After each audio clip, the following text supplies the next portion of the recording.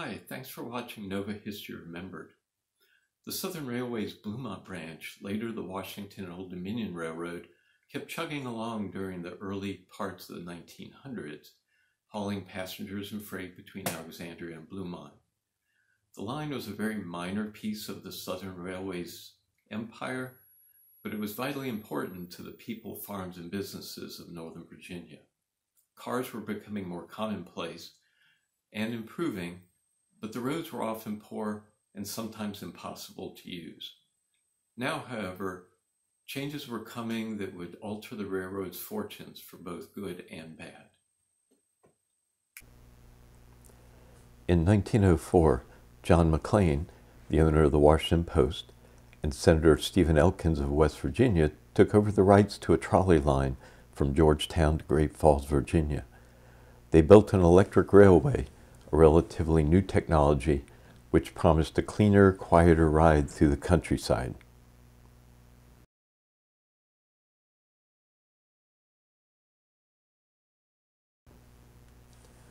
At Great Falls, a railroad station, dance hall, merry-go-round, and other attractions were built to accommodate people who wanted to get out of the city for amusement.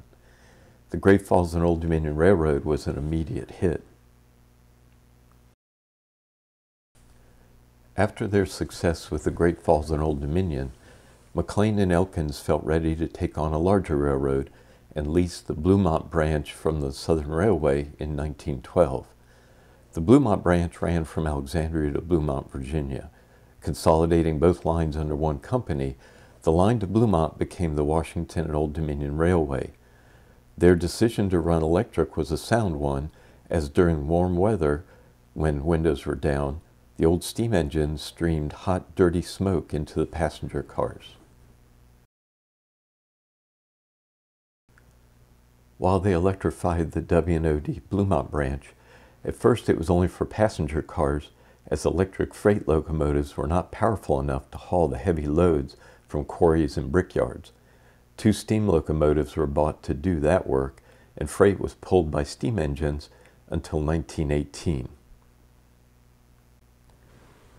By 1918, electric freight locomotives were ready to haul freight, and the W&OD Railway retired their last steam equipment.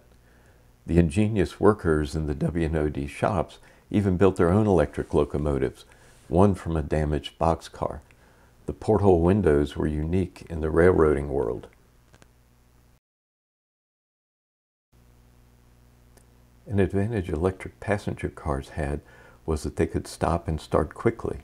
The old steam locomotive driven passenger trains were much slower to get going, so passengers could only be picked up at the main stations and a few small stops in between. By using trolley cars, the W&OD could put numerous stops along the line.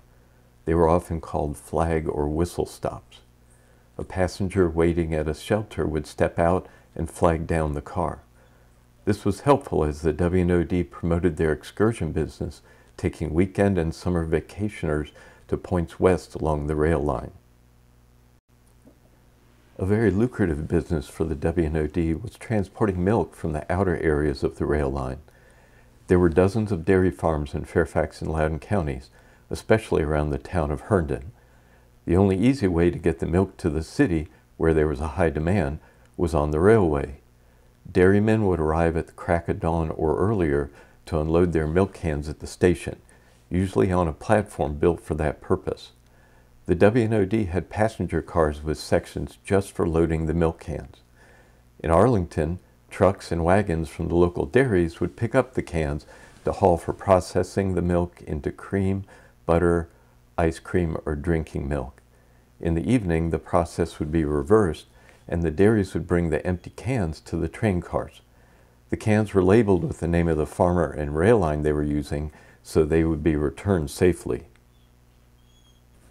The W&OD tried to increase passenger business by offering a parlor car which would only stop at the main stations and provide a speedier trip to the end of the line in Bluemont, only a two-hour trip. The car offered upgraded seats, amenities such as magazines, and a porter to hand out cooling towels in the hot summer months. This was not a success and was discontinued after a short time. In 1916, labor unrest came to the W&OD. The Amalgamated Association of Street and Electric Railway Employees of America came to the Washington, D.C. area and unionized the local rail lines. The Amalgamated was known for improving working conditions on railroads. One of their successes was the elimination of side platform trolley cars, which killed and injured many rail workers. The union and workers tried to speak with the management of the railroad but were turned away. One issue was that there was now absentee ownership of the W&OD. Senator Elkins had died not long after the W&OD was formed, and McLean was dying of cancer while the employees were being unionized. Their heirs had no interest in the rail line, so important decisions were left up to hired management. A strike was called on a weekday and at 11 a.m., after commuters were at work in the city, the Washington Old Dominion workers walked out, leaving riders to find their own way home in the evening. The strike became national news as well known figures in the labor movement became involved. In the end, most of the employees lost their jobs and the rail line suffered from it. The labor issues and general mismanagement prompted complaints from users of the W&OD who thought of many charming names for the line.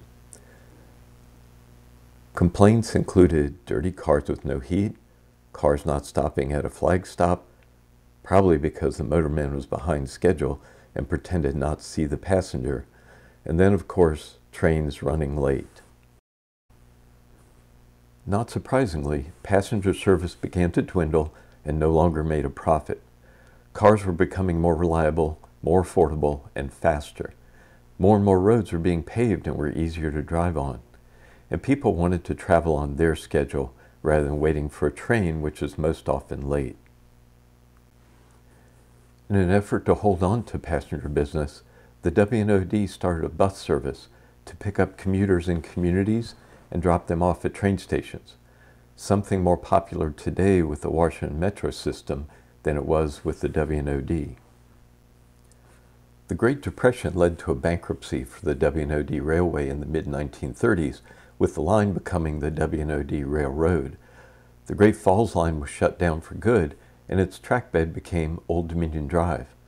The Purcellville to Bluemont section of the WNOD was closed, and the land sold after the trestle at Round Hill needed replacing and was just too expensive to justify the cost.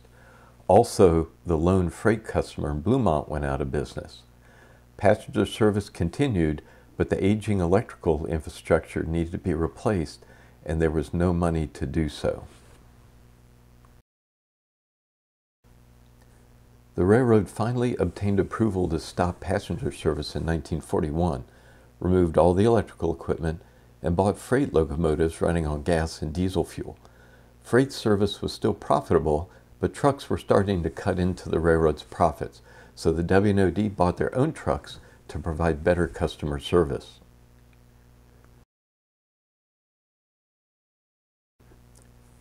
The end of passenger service was short lived, though, as the gas shortages of World War II made public transportation a priority, and the federal government required the W&OD to start carrying passengers again.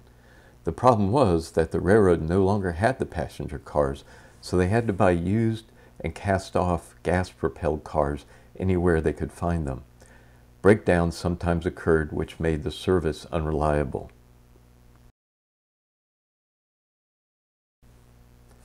Better passenger cars were eventually found, but when the war ended, gas became plentiful and people went back to their cars. As it was before the war, passenger service lost money and offset the profits made by the freight department of the W&OD.